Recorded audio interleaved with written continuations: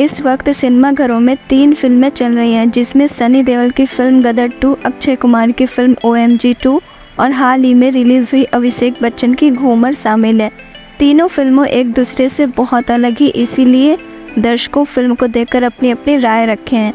इसी बीच फ़िल्म दिग्गज अभिनेता अनुपम खेर ने भी अक्षय कुमार की बहुचर्चित फ़िल्म ओ एम जी टू को देखने पहुँचे। फ़िल्म देखने के बाद अनुपम खेर ने फ़िल्म रिव्यू भी दिया है। बहुत अच्छी लगी। मैसेज कमाल का एंटरटेनिंग है। पंकज का काम बहुत ही अच्छा है। सबका, पवन का, पवन मल्होत्रा जी का काम, Akshay is fantastic the treatment is very good Amit Rai जिन्होंने डायरेक्ट किया है, बहुत अच्छी फ़िल्म है। मेरी माँ को भी बहुत अच्छी लगी है। और इसकी सक्सेस जो है ना, वो आज सिर्फ़ बेसिकली हीरो जो हमारी फ़िल्म के है, वो स्क्रिप्ट है। और ऑडियंस उसके साथ रिलेट करती है। फुल फुल हाउसफुल था। सब लोग इन्जॉय कर रहे थे हर एक जगह पे तालियाँ पड़ रही थी। मतलब ये मल्टीप्लेक्स की ऑडियंस है। लोग कहते ना कि मल्टीप्लेक्स की ऑडियंस सोफिस्टिकेटेड होती है सिंगल स्क्रीन की सोफिस्टिकेटेड नहीं होती है। ऐसा कुछ नहीं है। फ़िल्म अच्छी होती है तो फ़िल्म जो है दिल से दिल तक पहुँचती है। और मैं मुबारकबाद देना चाहता हूँ कि हाल ही में मैंने कदर भी थिएटर में देखी और आज मैंने ओ एम जी थिएटर में देखी। मैं थिएटर में देख के जाना चाहता हूँ कि सक्सेसफुल फ़िल्मों का नतीजा ये क्या है? चार फ़िल्में सक्सेसफुल जो बहुत हुई है पाँच फ़िल्में पठान को लेकर जैसे कश्मीर फाइल्स केरला स्टोरी और ये दो फ़िल्में ये, ये जो ओ एम जी और गदर है ये हिंदुस्तान से जुड़ी हुई कहानियाँ हैं। ये ये कहानियाँ जो हैं ये कॉमन मैन की है ये लोगों की है अंदर की भावनाओं की है देश की है। अब इसमें भी भोले शंकर के ऊपर है सब कुछ लेकिन कोई ऐसा फीलिंग नहीं आती कि किसी कोई इसका कोई एजेंडा है। ये टोटल एंटरटेनर्स हैं और लोगों को पसंद आ रही है नहीं है।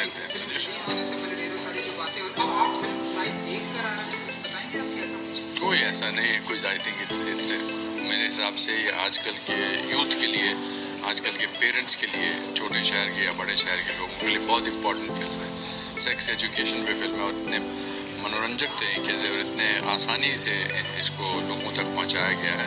ये अवेयरनेस है। आई थिंक ये लोग जो ऑडियंस आ रहे हैं सिर्फ़ मनोरंजन के लिए नहीं आ रही है। ये अवेयरनेस के लिए भी आ रहे हैं। वर्ड ऑफ़ माउथ जो है इस फ़िल्म का बहुत स्ट्रॉन्ग है। And I am very happy that मैंने ये फ़िल्म थिएटर में देखी। मेरी माता जी।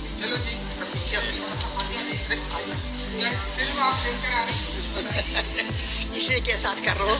किस जी? कैसी लगी मैंने अच्छी लगी। मैं उस दिन की बात से ज़्यादा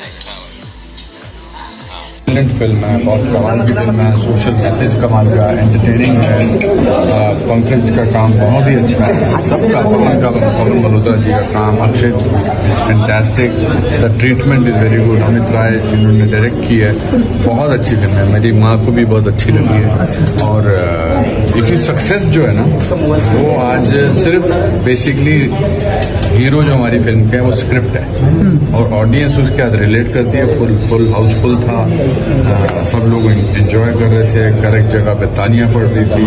मतलब ये मल्टीप्लेक्स की ऑडियंस है। लोग कहते हैं ना कि मल्टीप्लेक्स की ऑडियंस सोफिस्टिकेटेड होती है सिंगल स्क्रीन की सोफिस्टिकेटेड नहीं होती है। ऐसा कुछ नहीं है। फ़िल्म अच्छी होती है तो फ़िल्म जो है दिल से दिल तक पहुँचती है। और मैं मुबारकबाद देना चाहता हूँ कि हाल ही में मैंने बदर भी थिएटर में देखी और आज मैंने ओ थिएटर में देखी। मैं थिएटर में देख के जाना चाहता चाहता हूँ सक्सेसफुल फ़िल्मों का नतीजा ये क्या है चार फ़िल्में सक्सेसफुल जो बहुत हुई हैं पाँच फ़िल्में पठान को लेकर जैसे कश्मीर फाइल्स केरला स्टोरी और ये दो फ़िल्में जो ओएमजी और गदर है ये हिंदुस्तान से जुड़ी हुई कहानियाँ ये ये कहानियाँ जो हैं ये कॉमन मैन की है लोगों की है, अंदर की भावनाओं की है, देश की है।